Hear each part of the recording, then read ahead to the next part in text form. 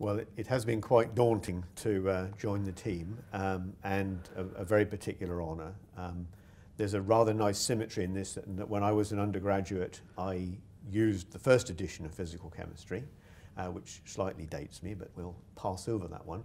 Um, and these books and various other books that Professor Atkins has produced have been part of my education uh, as a student and also uh, I've always used as aids to my teaching. So to be able to, as it were, then join the team uh, at this stage has, has, has been immensely rewarding.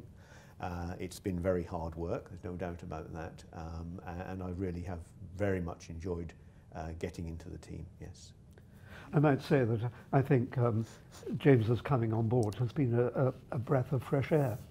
I, I think it's very important to have someone who is, use a phrase I used short time ago, under the skin, but un now under the skin of the book, not just under the skin of a particular concept.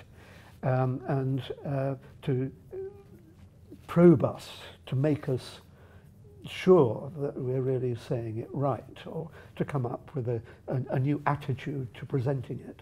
So um, it, it's, it's helping to keep the book young and vibrant and relevant. You know, Peter and I have been writing together since 1999.